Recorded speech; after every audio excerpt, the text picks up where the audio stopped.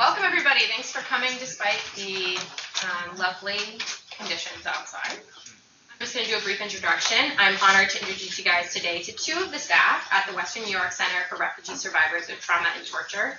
Correct me on the name. Western New York Center for Survivors of Torture. Survivors of Torture. Um, so Pam Kefi is the center's program director. She works tirelessly to bring the center into existence and continues to use her skills and connections to expand the center's coordinated network of care for refugees, asylees, and other immigrant survivors of trauma and torture. She has extensive experience working for refugees and with other marginalized populations, and is a consultant as well for cultural competency, organizational, and partnership development. Ali Kadum, right? Yes. Um, works as a care coordinator at the center. He is an alumnus of our very own MSW program here at UB, as well as from the University of Baghdad. Ali serves as the chair of Buffalo's Iraqi American Society and founded BIREC, which is Buffalo's Immigrant and Refugee Empowerment Coalition, which, among other things, helps to organize the annual World Refugee Day. I'm not sure if you want to put in a plug for that. Um, so without further ado, I will allow our presenters to explain their work at the center in greater detail and begin today's conversation on working with survivors of torture. Thank you guys for attending. I'm sure we're going to learn a lot today. And please remember to sign in and fill out the feedback forms before you head out. And enjoy. Stephanie, can I just ask you to make mention of Kim, who's not able to join us? You want me to do Kim's yeah, intro? I do. Ooh, yeah. I'm going to do Kim's yeah. intro. She was supposed to be here but couldn't come because of the weather. All right, I've got that. I've got that. Okay, good. Dr. Kim Griswold serves as the center's medical director. Part of her work at the center is to educate other providers in how to be culturally competent and work well with interpreters. Certified by Physicians for Human Rights, she is responsible for documenting and assessing evidence of torture and trauma in refugees and asylum seekers. She also is required to provide testimony at asylum hearings. In her spare time, she is an associate professor of family medicine and psychiatry at UB. All right, take it away. Are you going to be our timekeeper? Can you give us Sure. a 15 minute warning? We'll do. Yeah, okay, thanks.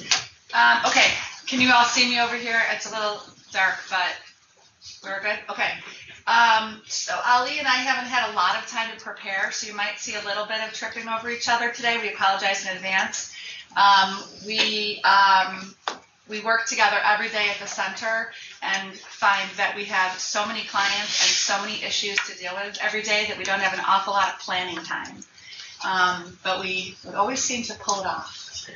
Um, okay, so we um, we at Jewish Family Service are um, part of a large partnership, and so um, the presentation today will talk a bit about the issue of torture and trauma, um, who our population is in the community, sort of why we started, and who all of our partners are, and what we're doing now, and what we hope to be doing as we move forward with um, with additional funding and, and community support.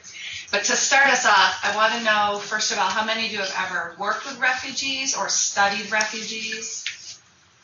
So some of you, some of you have information. Um, I want to do a little bit of def, uh, defining who our population is.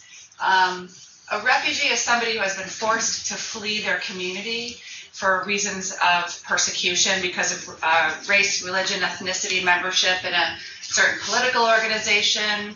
Um, and um, for the purpose of the conversation today, the refugees we're talking about are also people who've been given status and who were resettled in the United States. Sometimes in Buffalo we talk about refugees at Vive, and those are also world refugees, in my opinion, by ethical standards. They are also displaced and have had to flee their homes, but they don't yet have sort of a legal status as a refugee in the United States. Those are people we would refer to today as asylees or asylum seekers. Okay, so somehow they got here, and now they're pursuing asylum, which by global standards is also refugee. Okay, does that make sense? Okay. Do you want to add anything? No. Okay. Jump in anytime. Sure. Okay. Um, it's really hard to know what our what our we don't have a lot of good data in Western New York. What we really have to rely on is the Bureau of Refugee and Immigrant Affairs in Albany. They're the state agency that, that governs um, sort of state-funded programs for refugees. So they have some data about you know how many refugees were resettled in Buffalo, and how many received employment services that were funded by the state, this type of thing. I don't believe they're accurate. We have a lot of secondary migrants. Those are people who come to Buffalo after they've been resettled somewhere else. Um, we also have people who become citizens and file for their family members to join them, you know, five, six, seven years later. So they're really still having the same kind of needs that somebody who was resettled might have, but they came through different avenues and they're not being counted. Um, so let's just assume that we have about 15,000 refugees in Western New York right now, and that 35% of them are struggling with the consequences of extreme refugee trauma and torture. Uh, this is something that was taken off of a UN statistic. Um, you know, how does that apply to Western New York? It's hard, it's hard to say. But for, for today's purpose, we'll assume these numbers are true. Um, we are called the Western New York Center for Survivors of Torture, but we know that a lot of our clients are dealing with something we're calling extreme refugee trauma. We aren't requiring our clients to divulge torture per se in order to be seen in our clinic what we're what we're asking for them to to tell us is what their struggle is in the United States that you know they're not able to handle on their own. It's more um, it's a it's a broader definition of who we serve, but um, over time this might actually have to change as we pursue funding through the Office of Refugee Resettlement, which is our federal funding stream. They're very specific about providing services to torture survivors. So we have refugee trauma um, which includes exposure to war, political violence, or torture. It can be the result of living in a region affected by bombing, shooting, or looting, as well as forced displacement to a new home due to political reasons. Um, one thing that we don't often think about is that some of our refugee clients or asylum seekers have served as soldiers, and so they're also bringing with them um, traumatic experiences from being a combatant. Um, I'm going to read to you the definition of torture by the UN just so that um, we kind of are all clear on what we're talking about. It's a bit uh, lengthy, but um, so Article 1.1 of the UN Convention Against Torture defines torture as any act by which severe pain or suffering, whether physical or mental, is intentionally inflicted on a person for such purposes as obtaining from him or a third party information or a confession. Punishing him for an act he or a third person has committed or is suspected of having committed, or intimidating or coercing him or a third person, or for any reason based on discrimination of any kind, when such pain or suffering is inflicted by or at the instigation of or with the consent or acquiescence of a public official or any other person acting in official capacity. So the, the key the key here really is the official capacity. Um, so the people that we're working with have been victimized by a government or a government sanctioned entity. So it could be, um, or, or not even government per se. It could be whoever's running the, the area. Okay, so ISIS isn't really a government, but right now they have control over certain areas of Iraq. They would be considered this official capacity entity. Does that make sense? Mm-hmm. Okay. So this is different than somebody who was a crime victim you know, by a group, group of bandits, for example. Okay, do you want to add anything? So Ali's going to talk a bit about, you know, sort of the journey and what some of the stressors are that people are exposed to. Okay, so hi everyone. Uh, to talk about pre-migration is, sorry. To operate that for you? To go back, you know, so this is the pre-migration when refugees or people they they have some kind of um, problem in their country and um, it's very struggle for them to to either to stay or to looking for a safer place. So we see, I mean, according to emotional and physical health challenges that they face. Um, so uh, we see there's too many things, uh, persecution resulting in loss of economic and education status. So imagine you work so hard, you graduate, you find job, and after a while, um, because of unsafe or the, when there is a war or the, there's no economy, everything will be stopped. So you, the whole society will be freezing. So there's people they they looking for how to survive with, with job with I mean unsafe because there is no export and import. There is no uh, food and everything will be stopped because of there. Some people have more control on other things. So in this situation, um, people start to to leave the place because of this uh. So breakdown of social support and family units. So when um, they, they attacked the father and they took it, the family feel uh, unsafe. Uh, probably the other part of the family will be taken by the government or by the extremist group. So the whole scenario will start to think, do I need to stay in this place or looking for a safer place? So illness with poor health care. Uh, imagine I, I remember in Iraq when the war started, um, we don't have enough hospitals to, I mean, to run. We try to talk with people, please come volunteer and do some help. Uh, try to donate blood. Uh, the doctor, I mean, there's no, they, they are working 24 hour, all these doctors, nurse. So just to make people survive in this time. So, and we don't have also the medications. So the good thing, some, uh, we start to receive some um, uh, uh, medications from UN, from other country, but still, I mean, there's a, a crisis happening this time on. Uh, imagine, I mean, with in the United States, when we see the snow happening uh, last month, or I mean, see 15 people pass away, and even we have very strong government on all these equipment. So what about in a third country? There's not enough resources to to help. So um, we expect many people there pass away uh, because of there's not enough uh, services. So exposure, exposure or, and witness to crime and violence, and this is the very terrifying things to see people killed or shoot or I mean kidnap their kids. So especially for parents when they hear their neighbor, I mean somebody kidnap their kids, they don't think that this is the right place to live. So they take their kids and they run away. Um, so if you want to talk about torture, probably this is also um, related to to uh, the issue. Sure. I, I will add also to um, some of the other stressors. Um, we have some clients from you know different kind of groups that have come through who have had who have been forced to do some pretty horrendous things themselves in order to stay alive. And so one might consider them to actually be perpetrators of crime as well. Um, you know, it wasn't uncommon for the Bosnians to have to shoot their spouses to keep their children alive. Um, or, you know, and, and as deeply and as horrifying as it might be that, you know, men would be forced to rape their own wives or daughters. You know, so I just want to kind of illustrate to you the, the, the depth of the problem of, of trauma um, in the refugee population, which goes beyond, you know, sort of um, the plight of people who've had to leave because the crops there's not been enough water, you know, when there's a drought and there's economic refugees, we're talking about something with a little bit more um, of a traumatic impact.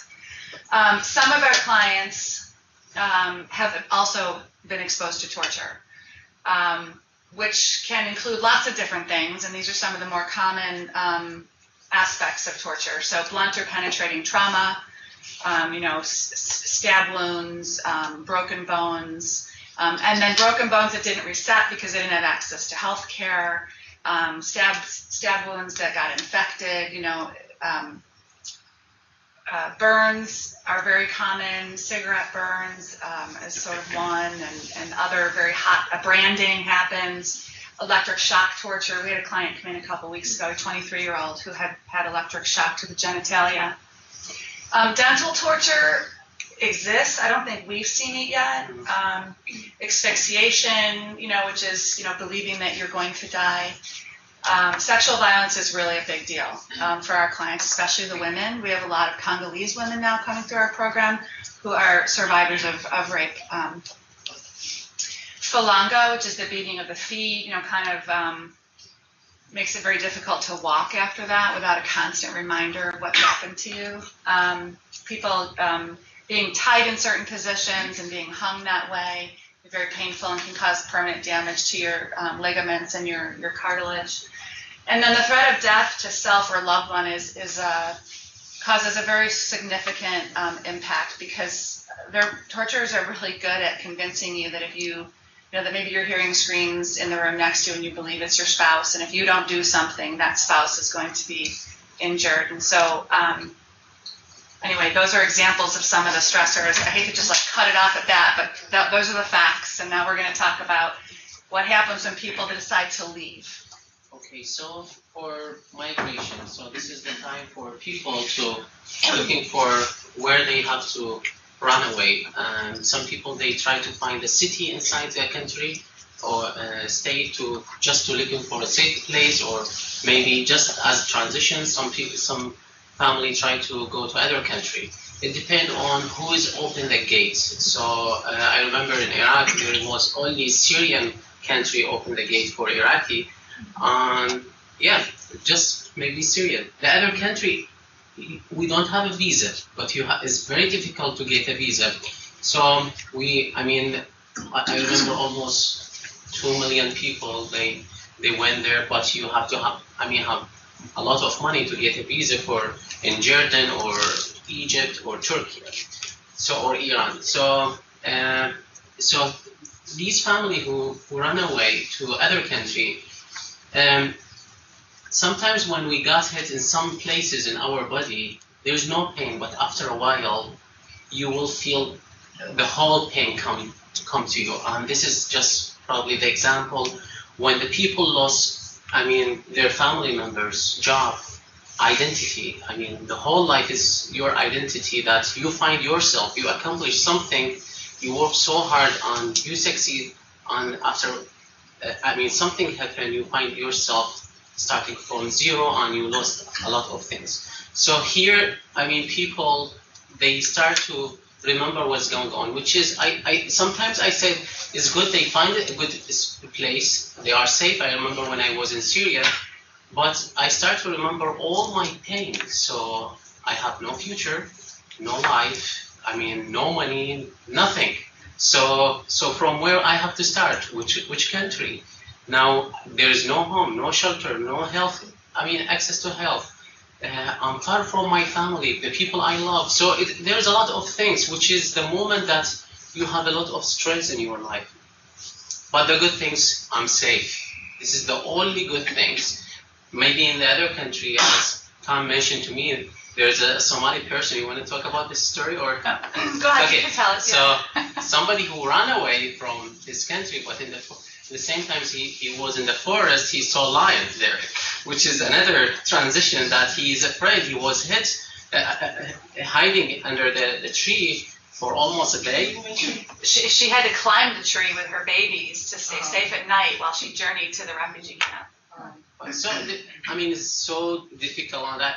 Even when people just run away from their country or the city, there is um, there is extremist people around the city in the in the gate of all these places. So and they start to ask you about your identity, and if they see you, you are part of this group or this uh, religion or this, uh, uh, I mean, city. So they take you. Um, I was survivor of this too. I mean, thank God. I remember there is a helicopter on American um, uh, car come and they they took us to the desert. And when they saw it, they ran away. So I was safe to be here. so which is sometimes when we remember. I mean, the people they took them and. There's a lot of things we don't want to be. I mean, talking about the, the a lot of trauma that we we live. So uh, in this circumstances, I mean, sometimes it's difficult, as I mentioned, for people where they have to go with, uh, even in some country, they don't have enough resources, uh, healthcare, and also we wasn't able to, to work in this country. I mean, you just have a place, but the good things, I, I was taught, speaking Persian or other language helped me to find job in Syria. I didn't live in a camp. I see many people live in a camp and it's very struggle for them and their family. So it depends on uh, the situation and if you work uh, so hard, so you will be survived with this. So did I cover I think something? so. I think so. Okay. So the post-migration here in Buffalo. So when the refugees arrive in Buffalo, this is the struggle that they have. You know, Ali, let me take one step back. Um, I don't know if you're familiar with the process of how somebody gets the right to come to the U.S. I'm just going to take a minute to talk about that. So a refugee has to present themselves to the United Nations High Commissioner of Refugees somewhere in the world and show that they're out of their country because they have fled for those reasons we talked about earlier, and they have to prove their identity and their persecution. If they're lucky enough to be approved by the UNHCR, then they can decide if they want to be resettled in another country, and they have to apply. So if they apply to the U.S., you know, we only take in 70,000 a year of the millions who are, you know, displaced and, and, and who are refugees right now. But then their trip is actually coordinated and funded through the International Organization of Migration, and they're kind of brought around the world until they get to us. Just so, so they, there's a process for that. Yeah, and one of the questions they ask, what makes your story and your life is unique? Many people now live in Iraq. What's the difference between you and other people? So you have to give evidence. I mean, sometimes show them some pictures, uh, your work, so to convince them. Otherwise, they would probably reject your, your case, and they try to take the priority cases. I mean, uh, and I know many people they reject and they stuck there, and after a while they return back, which is unsafe also. Or they was in in military in some way. I mean, in my country, government forced people to be in the military. So if you are part of the military, they thought you are part of, for example, Ba'ath Party or Nazi or whatever. I mean, uh, I mean group. So probably these these military you will not be eligible to come to this country. So it was very difficult uh, process. I remember almost two years waiting with 10 interview, and you have no hope. I mean, they're gonna accept you or not. So yeah. So this is the the, the, the transition when refugees arrive here. Um, language barrier, as you know, I still have accent. I have difficulties. I have a lot of idea and thinking, but I try my best to, to speak. So still I, I feel embarrassed for not giving full idea. So hopefully one day I will speak just like you. so language barrier, I know uh, many refugees when they arrive here, so um, uh, it's very difficult. They don't have a, somebody as translate, uh, interpreter, or somebody speak their language. So it's, it's so difficult. I, I think the most difficult things is language. So uh, on the other things, we can't say there's settlement uh, process. Um, they thought when they come here, they're gonna sit, sit, I mean, stay home for a while, and the government pay to them. So within three months, they told them you are out of social service. You have to to work. So and sometimes in Canada, different the system there because we heard if you go to Europe or Canada, German, the other country, each system different because we have some people go there so they share the idea uh, about the life in, in, in Europe or life in Canada and life here.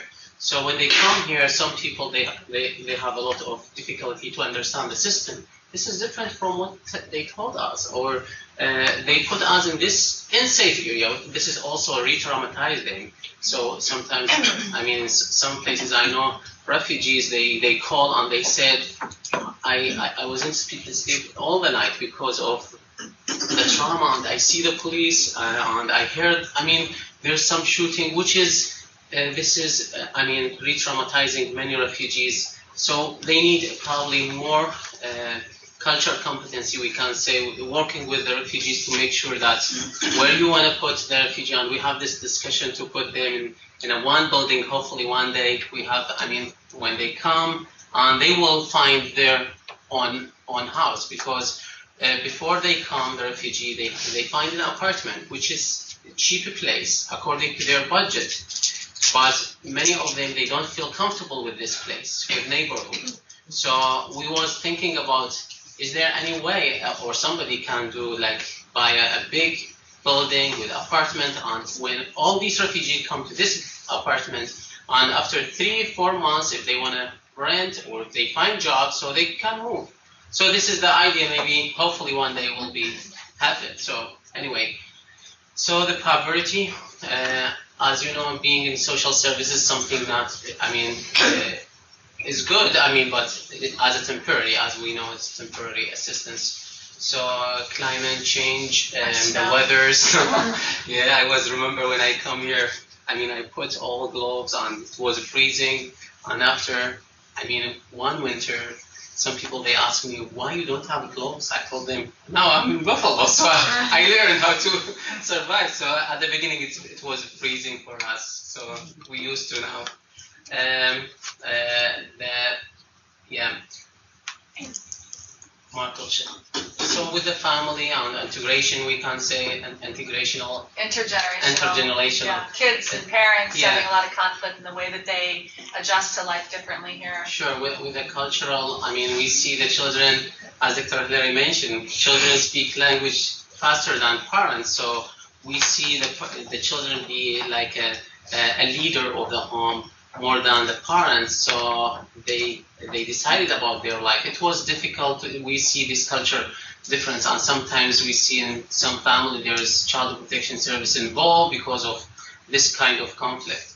Um, so uh, also, we know, I mean, many women, they came from Africa or Middle East, they don't have enough of rights. So when they come here, they start to discover themselves, they are abused by husband or they don't have enough rights. So they start to have some um, uh, problem. Um, usually in, in my country or other country, there is a community support. People help each other, cousin, family, if there is a family problem. But here, the wife she, she doesn't have I mean help just 911 and if she call 911 which is aimed to a big problem for her family and will which is cause divorce so I mean education piece is really important to educate women how to use 911 and how to use her skills to keep her family and to work with her husband maybe he has a lot of trauma so to working on these uh, symptoms and work together to help each other so yeah, one of the meeting I remember in 2013 we have BIREC meeting. Uh, there was almost 50 leaders from different community. Uh, we asked them what is your priority needs. So they said the struggle that we face in this country is 32 issues. We have a big uh, board on each each community, Somali, Congolese, Libyan, all these community. So they write it was almost 32 issues. So they address it. So uh, I, I think this is only maybe maybe the summary or some point of this uh, struggle, but I'm sure there's a lot. I hope to have this list to share it with you. So um, this is the I mean after you learn English, you start to understand the system. Or some you know when they arrive, many refugees they try to find their community. They feel more safe and more attached because uh, I mean, it's, it's kind of difficult to, to be with, with, with non, I mean, the person who doesn't speak their language. And this is also, I think, is one of the problems that many refugees face.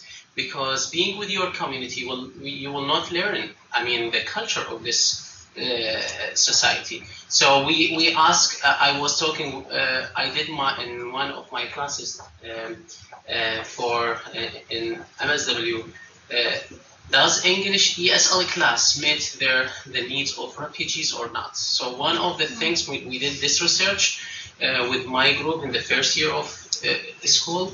So we find that many of these classes there's not enough culture, so they need uh, they need more. Uh, I mean, cultural piece in ES English second language to help them uh, uh, attach with the society and understand the system.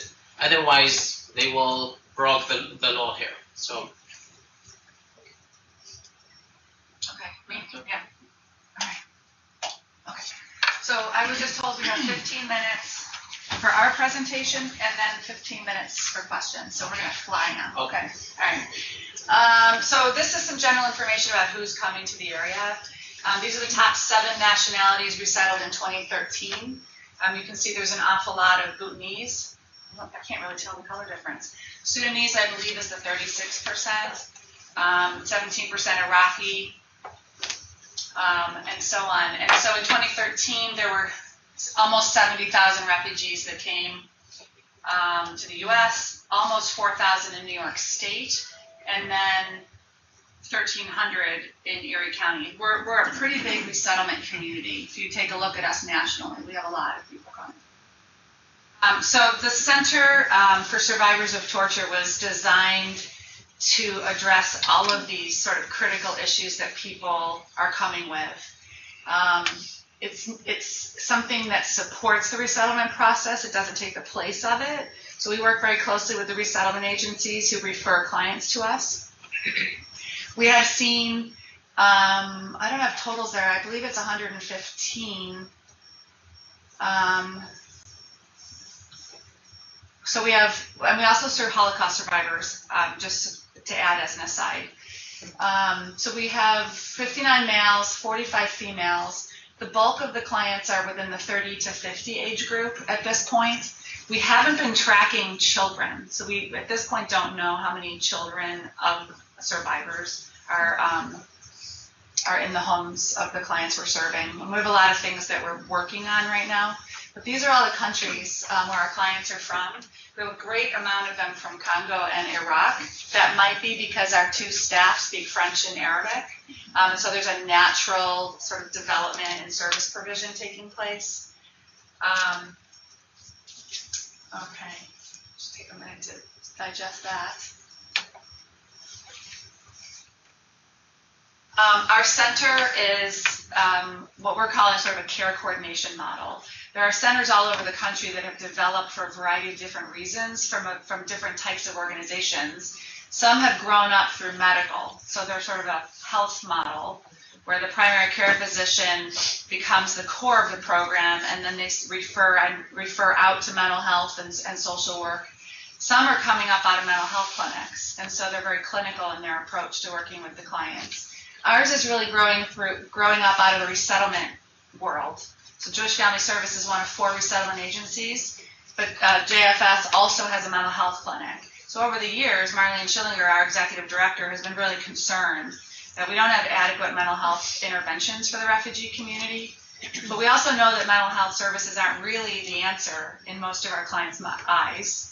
So we're creating something that helps meld together all the systems of care that our clients are navigating with care coordinators. Okay, so every client who comes through our center is touched by our care coordinators in some capacity. Some of them are seeing our care coordinators regularly because they've got so many things they need to talk through, so many barriers, so many challenges they need to, uh, you know, have some education. I think Ali will talk a little bit more about that in a second. But we also have legal services through Journey's End. We also have forensic exams that are happening through UB Family Medicine um, that I'll describe near the end. And we have um, referrals going out to our mental health clinic at Jewish Family Service, as well as Lakeshore Behavioral Health, um, for those who are ready for mental health counseling or who are seeking that as, as an intervention. Um, our clients also have access to all of the resettlement services in the building, whether it's issues with housing or employment. Um, I just want to make sure I'll leave. Okay. Um, this web is very um, sort of wishful thinking on our part, and I see a couple people in here who I've written in that I haven't talked to you about. Um, so this is where we hope to be. Okay, we need to get future funding so that we can maintain our role after July, and we hope to see um, some of the things happening that um, aren't currently in place. So we have this big bubble in the middle the Center for Survivors of Torture, where we do our all the project coordination, care coordination. We have mental health services. Um, Journey's End um, is where our legal director sits. Up at the top where these red lines are connecting, these are all the entities involved with the forensic exams. So this is where Kim Griswold comes in. She's our medical director through UB Family Medicine. She's the one that's certified through Physicians for Human Rights. Then we have UB Medical School. We had some wonderful interns helping us in the early stages of our program. They created a human rights clinic at UB uh, Medical School, and the student group is now coordinating our forensic exams. They're actually on site at our center. Um, and then Physicians for Human Rights is still on board as our training partner, and they credential our physicians or mental health providers to do the forensic evaluations. And I will talk about that near the end. We're still referring out to Lakeshore Behavioral Health. We're getting pretty deeply involved with Jericho Road as they take over our local shelter. And they are really providing a lot of our um, health care, um, and they don't seem to mind that our clients don't have insurance. Um, we are partnering with Catholic Family Center in Rochester as well as well as Rochester General Hospital. We're, we're talking about how we can be a regional model. And then UB School of Social Work, Institute of Trauma and Trauma Informed Care, hopefully will be able to come on board when we get funding to help us doing some of our support groups. And ERIE, the Immigrant and Refugee Research Institute, um, hoping will be able to come in as a sort of research partner for us, as well as other things. Okay? So this is our big dream, so you know where we want to go. Questions at all uh, as we move forward? Okay, so I feel like we've talked about a lot of this stuff. Okay. Um, do you want to talk a little bit about your role as a care coordinator? Yeah, so Okay. let's say if there's some, we, we got referral from agency for the client. We, we have to make sure this client, um, uh, we don't know if this uh, person, uh, what kind of help need. They said, uh, according to his report from a summit agency, uh, he has some trauma issues. So I meet with the client. I try to do assessment to, to make sure what kind of help they need. If they, for example, some psychoeducation, we, I provide some psychoeducation uh, with them to explain exactly what's going on because of coming from many of these countries. They thought that the ghost is a part of the body, is a spiritual things, is more than mental illness or trauma or why my behavior is like this, why I'm angry. So we try to provide some uh, education piece. Uh, if if I recognize the person has severe trauma and they are they need a doctor or they need medication, we refer them either to Jewish Family Service, the mental, or Lower West Side Council, Behavioral Health. Uh, uh, or I mean, some people they have uh, they are asylum seeker and they may need a, a lawyer to help them, or they have an issue with the social services. As you know, the trauma uh, make people unable to function or their, their daily living.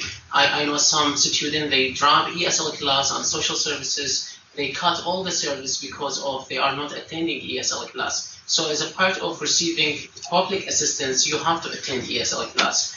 So without explaining the reason, I know the family for almost two months they don't have public assistance. I refer them to neighborhood legal service. They, they work with them and they got this service. So um, they provide after a while with assessment, with the appointment, they provide a report from a doctor that this person has severe depression and PTSD, so they understand the situation. So is is advocate for for the client. Uh, is is not this is not like a mental illness clinic, uh, but is more than guide the, the survivor of trauma and torture to the right place and make sure they are able to function on their daily living. Um, so I changed the screen. Okay, sure, yeah. So uh, one of the things that we try to provide uh, with my client is like a mental grounding. So people they have hundreds of thoughts in, in their brain. So we uh, and they think about what's going on. Even they sit in class, they they go home, and the worst things going home. So and we recommend them to be in the social uh, group, attend the ESL class, come to our place, try to go. I mean, window shopping. So I, I provide like a, a, a mental grounding and physical grounding to, to help them if if I have this trauma coming, I mean every second. So I try to make make sure to uh, to uh, describe things around me. Like this room is blue, is blue, and there is a, projector. Try to to make some details just to distract your thinking. Build the wall between these trauma things and that you're present because you are in the present, not in the past. We, tr- we try to give them some psychoeducation on uh, uh, uh, self, like uh, uh, some of um, relaxation technique or uh, uh, uh, defensive me- mechanism to help them deal with their stress and anxiety. So, I think it moved on into physical now. okay. All right. Uh, what's our time frame? Is one ten. Okay. So I think that I'm so glad Kim's not here because I would have given her five minutes. That would have been awful. um, so the physical consequences of torture are something that our clients deal with. This is a big problem in our community, and it's really um, something that we're hoping we can forge our way forward with Jericho Road to address more deeply. Um, we need to find specialists who can help us with some kind of rehabilitation services as well. You know, we have clients who have amputations Um, we have we have clients who um, you know have injuries that weren't that didn't heal properly that cause them daily pain. Um, you know, we're learning a lot right now about ears. You know, how important they are to our hearing. And if your earlobes have been have been you know lopped off with a machete, it's pretty hard to hear. Um, so um, Kim Griswold, there she is in that flowered dress there. Um, in my opinion, she's one of our local refugee health experts. She and I have been working together since the late 90s. Um, and I just think that she has an incredible amount of information. So I'm really glad that she's working on this project with us. Um, when, when, a, when an asylum seeker tries to go through the immigration system to get asylum, it's extremely difficult, especially in Western New York. I think we have a 12% success rate in Western New York, as opposed to like 60% in other parts of the country. We have really, it's our judges. I'm just, it's our judges here, our immigration judges. One of the ways to try to influence outcomes more successfully is to provide a forensic evaluation. So we can provide physical uh, evaluation or mental health. And um, we're actively recruiting clinicians who would like to volunteer to do some of this work. And in the spring, we're hoping to have Physicians for Human Rights come back and do more training so we can get more people credentialed. The um, forensic evaluation could take four hours. It's a head to toe assessment. Um, using the Istanbul Protocol standards, which is something you guys can look up if you want. Um, this is this is sort of the standard that we've agreed we would like the physicians to use. Um, Kim's in the room, and several medical students are in the room scribing, so that there's no way to lose information, and it helps the physician remain remain engaged with the patient. Um, okay, so. Let's see. One of the things that happens is the, the physician will complete their forensic evaluation and they will write it up and send it to Physicians for Human Rights who look it over. So there's a, there's an evaluation of our evaluation. So by the time it gets back to the lawyer and to the immigration court, it's gone through several layers of experts. Um, and this is a service that we're really glad that we're able to provide. Um, and it would be the same thing for the mental health assessment. Um, so an LCSW, I think a CSW, there's a, there's a sort of a series of different credentials that would qualify someone to do a forensic. Um, an LMHC works, um, a psychiatrist, a psychologist. Um, so they would do more of, a, of an evaluation to substantiate the claims of trauma. Is there is there a way to validate based on this person's emotional condition that this torture did occur in the absence of physical scarring. Um, the care coordinators have become a pretty important part of this forensic evaluation. I think um, in, in, the beginning, just to you know lessons learned, students were helping facilitate the forensic evaluations but you can imagine the triggers that are happening during the forensic evaluation, and it's extremely difficult for our clients afterwards. So our care coordinators are very much more involved now in preparing people to go into the process, being available outside the room if they're needed, and then also being the one to transition them home. Can I ask a question about yeah. this just quickly? Sure. Um, so is the success rate better with the forensic evaluation, or are you finding a 12% success rate even with the forensic evaluation? Well, the problem is that it takes years for an asylum case to get through the system. So the, the ones that we're doing evaluations on now, we won't necessarily know about for a while. Wow. Yeah, so I guess I'd have to take a look at what Physicians for Human Rights is seeing in other communities over the, over the years. That's a really good question. That would be great to include in this. Thanks for the question. Um, see, I don't think there's anything new here. Um, legal services are obviously very important. It's one of the it's one of the best ways to safety is to get your status and get benefits. So we're really um, mindful of evaluating people for that service. And a lot of our referrals are coming through legal uh, services. And how about UB Law School? I mean, there are there any? We have started working with UB Law School. They have a, a law clinic, right. um, and we hope to deepen that relationship because if there are students involved in, in providing legal services to torture survivors, I'm sure there's a really strong need for technical assistance mm-hmm. and care coordination would be really helpful. Yeah. Um, just sort of as an aside, we are developing um, an employment service for refugees with disabilities at Jewish Family Service, and that's turning out to be a really nice service that ties in with the program, uh, the torture program. Um, we also have a parenting program that's developing um, that our clients can tap into. We have challenges. Funding expires in July. That's a big one. Um, we have issues with language and cultural barrier. You know, we, you see all those languages that were listed before, all those countries of origin, and we only have Arabic, Spanish, and Italian on staff, and limited funding for interpreters. So we're looking at creative ways to, to make sure we don't have a language barrier with our clients. And we need to train more care coordinators. There's there's a really um, high need, and we want to keep our cases our caseloads low because this is pretty intensive work. Self care is really critical for our care coordinators because all day long they're hearing about torture. The forensic evaluation can take its toll on a provider because it's so intense, but it's one in you know every once in a while. The care coordinators on a daily basis are exposed, so we want to keep their caseloads very low. Um, Do you want to add anything? We're hoping to receive funding from the Office of Refugee Resettlement and the United Nations. They both have torture uh, specific funding. Um, and there's all our contact info.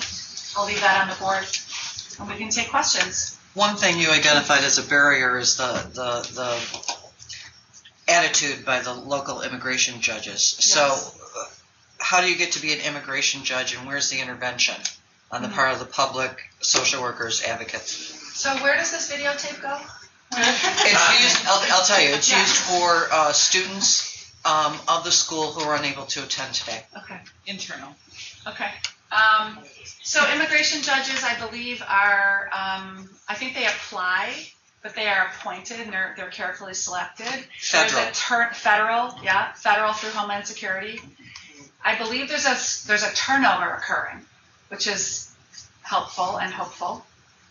Um, where is the intervention? I asked that question the other day. You know, what is our advocacy role? How do we influence change at a systemic level? You know, so that's where my that's where my head starts to go. I'm not sure why we haven't done that as a community. I, I think that's maybe something we'll be able to tackle once we know we have some good funding to carry us forward. My my concern right now is the direct client service, but I do think there's an opportunity for us to have that conversation someday. I don't know if that helped. So one thing that could be talked about in law school, because I'm assuming a legal degree is involved in being an immigration judge, or not necessarily, Uh, or so, a social worker could apply to be an I think immigration like I think likely it's a law degree, but I don't know that it's a requirement. Okay. Okay, I think you have to come up through the system if you're not a, a lawyer. This, I'm really speaking outside of my area of, of knowledge. Okay. Yes. Oh, so if, I came in a little late because I had an appointment, but, so if you answered this question earlier, I'll find out the, the answer from somebody else. So, um, so I, I'm curious about, um, do folks have a choice about where they want to go? You know, to Canada or to Europe or to the United States? And, and what do you think makes people choose, if there is a choice, coming to the United States? And I guess I'm curious as to, um, to your perspective on, um, whether you were given, whether people are given accurate information. And I guess when I ask that question, you know, I'm just thinking of how we do not do a good job in this country, I think, with our social services system compared to other countries. And I think we have one of the highest poverty rates of the Western industrialized countries. So I just am curious about that. Sure. Um, some some some people they have choice, some people not. So they give me choice. Other people, when I talk with them, they said they told us uh, in the United States. But the choice is related. For example, when they ask me uh, in German, Canada, or United States. But to have to be in, in German or Canada, you have to have family because I don't think they have strong system for student agencies. So you have to have somebody help you there when you arrive, or at least friends, family. So, but in the United States, they, I mean, they know there is a, a lot of student agency and they know where they have to send uh, the people. So I told them no. So I have only cousin in my in Canada, but I don't have his information. Uh, so so they they moved my case to United States. So I'm glad to be with you. so even I mean when uh, there is a lot of good things here in system. Even when I talk with people who live in refugees in, in Europe or Canada, they said, Ali, how did you study? On how do you work? They've been there, struggle. I mean, they they give them very good money for social services and make people a kind of, I mean, start with social services. Mm-hmm. But here, I love the things that after three months or two months, I find job. Yeah. And with my job, I'm to study, and I finished my school and I got good job. So, mm-hmm. so it, and when I talk with many friends, people overseas, they said, I mean, we are surprised to find people in the United States they can study and they can work. Yeah. And they've been in social services forever there. Yeah. They pay more than they pay here. I mean, Uh-huh. the, I mean the, their income. So they make people feel that I don't have to work. If I work, it's gonna be equal, the same. So why I have to work? Let me Yeah. use my time. So anyway, the good things. There's some. I know there's some uh, uh, side effect of the system. We need to make sure to help with it. But I mean, I, I find it is helpful for me myself. Maybe it's not helpful for other people. Yeah. So without this pressure, maybe I wasn't able to finish school or to study or to Yeah. work. You know, for years I um, I've been working with refugees for a long time, and the, the system has changed a lot over the years. It used to be that there wasn't much cultural orientation overseas for people before they came, um, and so everything they learned, they learned through the the word of mouth. And what would happen in some cultures is that people would come to the United States and find it's not like Dynasty or you know whatever it is that you see on TV, and it really is a struggle. But you don't want your family to know that so you don't tell the truth. And your family needs money, and so you send all your money back, and so the family believes that you're really doing very well financially. And then when they arrive, or another family comes, and it's not like that, then they blame the resettlement agency and think you're holding their money back. And so there was a lot of money invested in doing cultural orientation overseas. So I, I don't know if that really has helped at all, but I don't think there's as many conflicts as there used to be.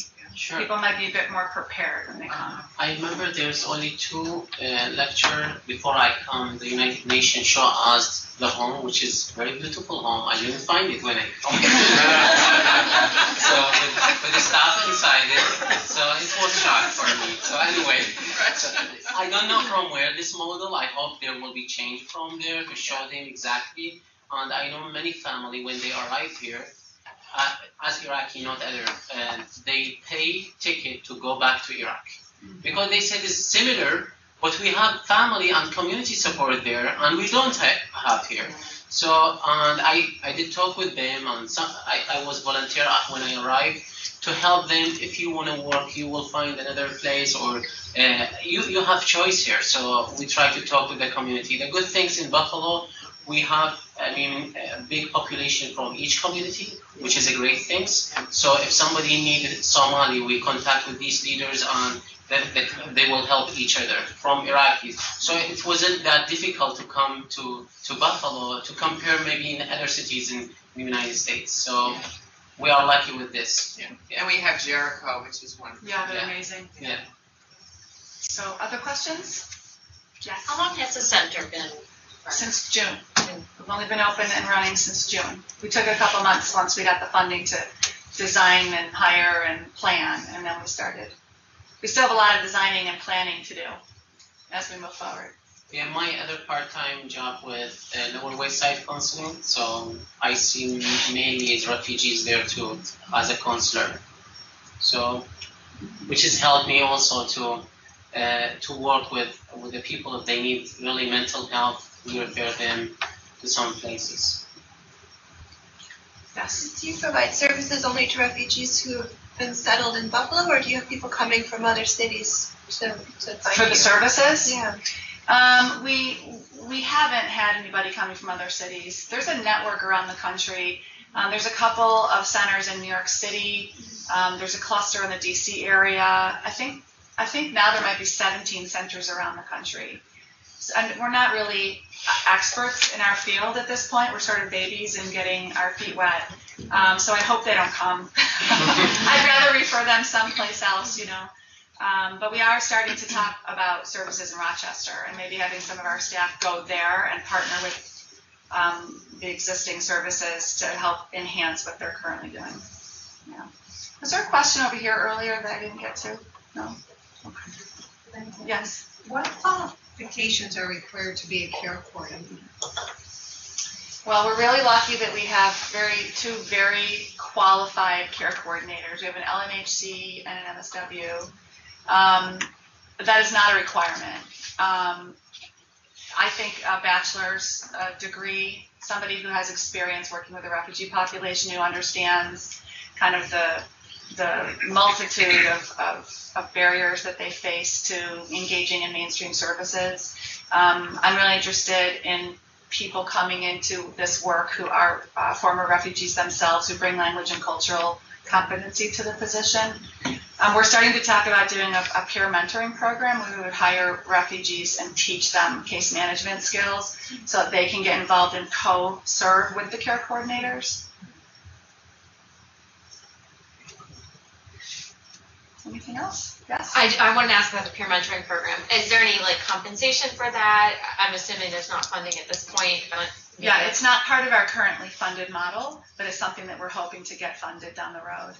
And we're working with Jim Sutton at, you know, uh, what is it, Rochester General Hospital. He has a, a pretty well-respected program that he's developed. He has a whole training program um, for these peer mentors. So we would probably replicate what he's already doing. Yeah. Yes. I wonder if you could explain if there is any opportunities for the MSW students Yes. who are interested in this this population could volunteer or help you Mm-hmm. um, in terms of your program. Yes.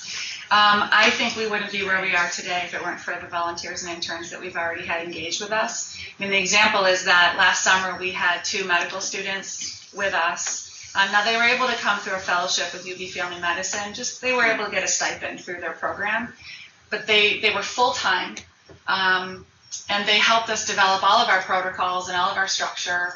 And then they stayed on as volunteers throughout their second year of medical school. So they come in every Monday and they actually work with me to review all of our intakes, assess them for assignment, um, follow up with the referring person to triage them, and um, they're they're very deeply involved with the work that we do.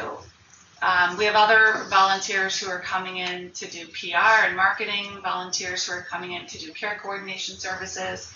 So we're really interested in anybody who's interested in spending time with us, learning with us, um, to come on over. We don't have a, a, an ability to do a structured um, MSW internship at this point, but I believe there's some conversations starting around that. But um, just on a personal level, if anybody wants to come over, um, if there's motivation and interest and some time, we'd love to have you. Did that answer your question? Um, since self-care is such a big thing at the school and you have our lovely plaque mounted, you know, Yes. how to, how to do self-care, um, could you talk about you being in this for decades, you being a fairly recent graduate and in it for, you know, a year or two, about your self-care or your dealing with trauma and vicarious trauma? I'm going to start and I'll turn it you. Yeah. I didn't do a very good job at self-care when I was doing direct service. Mhm. I don't do direct service anymore. So I learned from that. Um, That was your self-care. that- yeah, well, you know, when, and, and so I would now, fortunately, I get a chance to influence now program development and help people coming up through the resettlement ranks. So it's very important to me that people turn off their cell phones at the end of the day, not work through weekends. I tell everybody we're not crisis responders. There will always be an emergency. It can't be ours. You know, at this point, that's not what we're here to do. Um, and we've we've uh, developed a relationship with a clinician in Virginia. She's with the um, the Virginia, and it's the, it's called the Multicultural Human Services. And um, she is available every week for Ali and Anna to do um, clinical supervision.